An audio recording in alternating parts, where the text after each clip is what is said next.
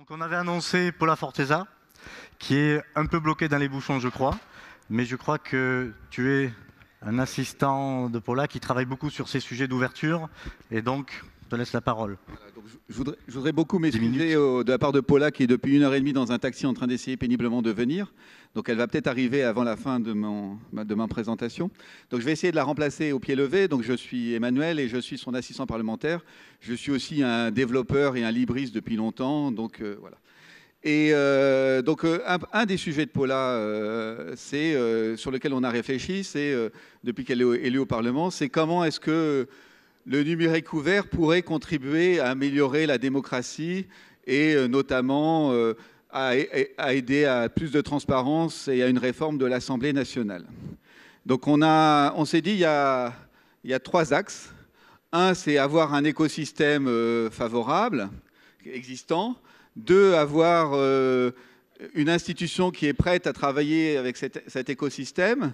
Et trois, avoir euh, les outils qui permettent de travailler ensemble. Donc je vais un peu vous détailler ces, trois, ces trois points. Le premier, c'est donc le premier, c'est euh, comment... Euh, euh, voilà, j'ai le trou de mémoire. Comment, comment, comment avoir un, écosystème qui, existant. Donc là, il y a déjà depuis quelques années, il y a une, au, niveau du gouvernement comme du Parlement, et notamment avec la, consultation sur pour une démocratie numérique, il y a eu un, un, début de commencement d'ouverture à la société civile et les citoyens ont pu commencer à proposer des, propositions. Donc on peut dire que cet écosystème euh, de citoyens qui, qui commencent à s'intéresser, enfin qui commencent à être consultés sur le, sur le fonctionnement de l'institution, on, peut dire qu'il est en train d'exister en train de se mettre en place. Après, il y a le, euh, il y a le, le, même problème, mais pour les côtés techniques. Donc ça, pour, le côté technique, il y a plusieurs moyens. Donc euh, d'abord, on peut... Euh, on, a, créé un, bureau ouvert, c'est-à-dire on s'est dit comment est-ce qu'on peut faire pour que les, les, développeurs hein, puissent côtoyer euh, l'Assemblée nationale et bien comprendre ses problèmes. Donc ce qu'on a fait, c'est que Paula, ouvre toutes les semaines le vendredi son bureau et vient et peut venir tout acteur qui est intéressé par euh, la démocratie numérique et la réforme du Parlement. Donc l'idée, c'est vous venez à 9h, vous vous inscrivez le lundi, vous venez le vendredi et vous travaillez sur vos sujets. Nous, on a un certain nombre de, projets, mais vous pouvez très bien venir avec vos projets, quels qu'ils soient en rapport avec la démocratie numérique. Et euh, on discute ensemble, on travaille ou on travaille dans, chacun dans son coin. Mais le but, c'est qu'en échangeant, en mangeant ensemble et tout, on arrive un peu à, faire du transfert d'informations. Donc ça, c'est quelque chose qu'on fait depuis euh, deux mois et qui marche assez bien. enfin, plus de, plus, de deux mois et qui marche bien. Voilà. Il y, a, aussi un autre moyen euh, il y a aussi un autre moyen naturel, il y a un autre écosystème naturel euh, qui vient aider ce côté technique, c'est bien sûr tout le monde des civic tech, euh, avec qui il y a beaucoup d'échanges. Voilà. Mais il y a aussi d'autres acteurs qui commencent aussi à s'intéresser à ce monde un peu tech et tout, c'est les députés. Et pour, euh, donc il y a eu un changement de génération, un grand changement de génération au, Parlement. Et, euh, mais, on, essaye de voir comment est-ce qu'on peut améliorer euh, leur, connaissance technique et la, compréhension des enjeux d'Internet. et donc pour ça, ce qu'on fait, c'est au sein d'En Marche, on, anime au sein du Lab d'En Marche des ateliers de, formation où on essaye de, faire travailler les députés concrètement sur euh, l'installation d'un outil et de leur, euh, tout en leur expliquant les principaux enjeux. Parce qu'on se rend compte que même si les députés maintenant sont beaucoup plus sensibles au numérique qu'avant, euh, il y a quand même encore de nombreux points euh, techniques ou, ou, législatifs et tout qui leur, qui leur échappent. Donc voilà, donc on a fait des ateliers. Donc le premier c'était comment installer WordPress. On, installe WordPress et après on, explique les, les, problématiques de données personnelles, comment est-ce qu'on loue un serveur, comment, euh, qu'est-ce qu'un DNS, qu'est-ce qu'une adresse IP. Voilà. Donc on, essaye de mélanger euh, technique et législatif tout en faisant des, des, des produits concrets, c'est-à-dire qu'à l'arrivée de l'atelier, la personne elle a son site web. Voilà. Et juste pour euh, une petite plaisanterie, mais le prochain atelier mardi prochain, c'est sur la, publication de l'IRFM, donc l'indemnité représentative de frais de mandat en open data. Voilà, donc c'est pour ceux qui veulent, pour les députés qui veulent, c'est comment euh, mettre en ligne son indemnité de parlementaire, qui est un sujet un peu chaud en ce moment.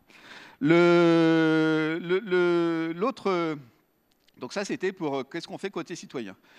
Pour faire tout ça, donc il faut donc le, troisième point, c'est comment est-ce qu'on peut avoir une institution qui euh, apprend à travailler au contact euh, de cette communauté. Euh, donc ça, il y, a deux moyens. Il y a déjà faire des hackathons comme on faisait aussi à Etalab. Donc les hackathons, c'est un outil qui a des limites, mais c'est un outil qui permet à, une institution de voir comment fonctionne le monde des hackers, des développeurs, des graphistes. On, va, dire hackers, mais c'est un, peu abusé. Et donc ça, c'est un premier axe, c'est un premier axe qu'on va encourager dans les, prochains mois.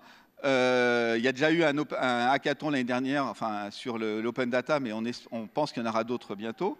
Et l'autre sujet qu'on pousse fortement, c'est euh, essayer de créer un hackerspace au, au, sein du, du, Parlement, un hacker lab, un hackerspace, je ne sais pas comment l'appeler.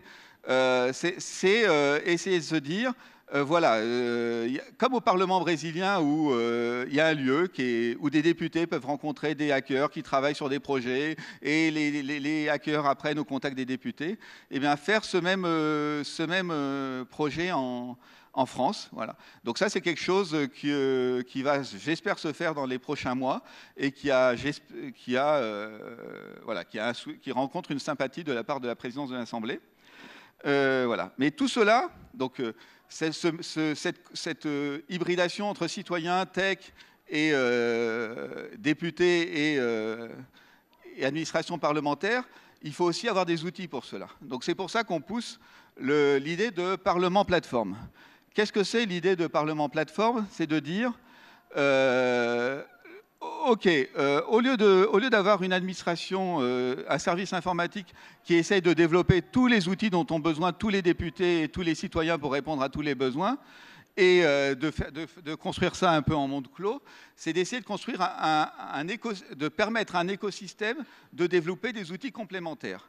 Donc ça veut dire demander aux services informatiques, certes, de développer les applications de base dont ont besoin les députés et les citoyens, mais surtout permettre euh, euh, de permettre à d'autres de faire des outils complémentaires. Et pour permettre à d'autres de faire des outils complémentaires, ça passe par trois choses.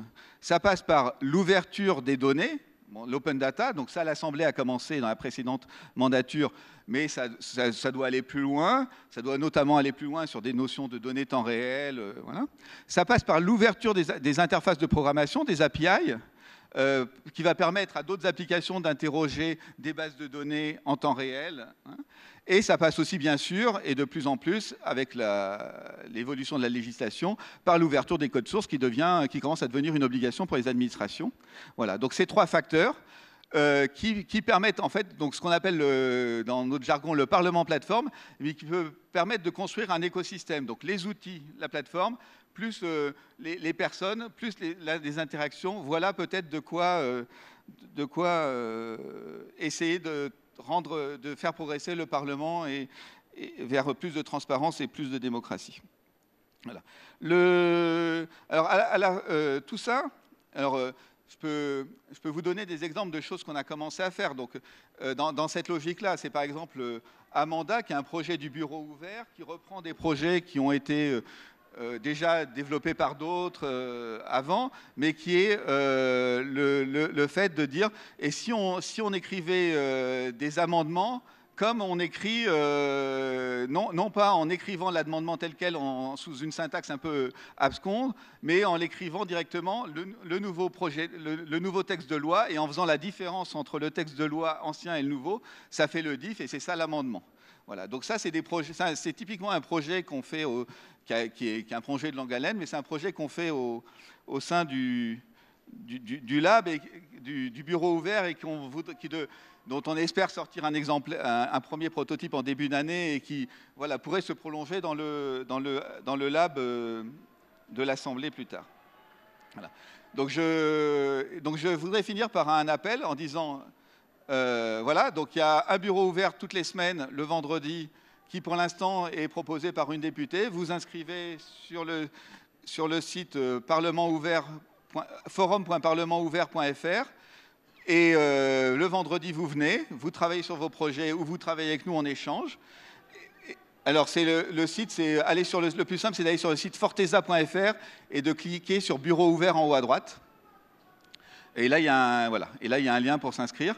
Et euh, donc, voilà, ça c'est un appel un peu à, tous ceux qui veulent contribuer. Il n'y a pas besoin d'être informaticien, ça aide bien sûr, mais il n'y a pas besoin que de ça. Et dernier appel tout spécial de Paula, qui n'est toujours pas là, c'est un appel aux geekettes, aux femmes, aux filles. Euh, voilà.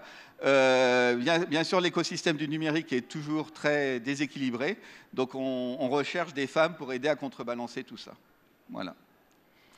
Ben, j'espérais finir en vous présentant Paula Forteza, mais je ne peux pas. Par contre, je vais finir autrement. Euh, il, y a quelques, il, y a quelques, semaines, avec Paula, on a entendu parler d'une initiative Open Radiation. Donc c'est très intéressant parce que c'est du matériel ouvert, du logiciel libre. C'est fait par des universitaires en collaboration avec une communauté pour faire un projet qui est sans but lucratif, qui est de mesurer les radiations et de crowdsourcer les mesures de radiation.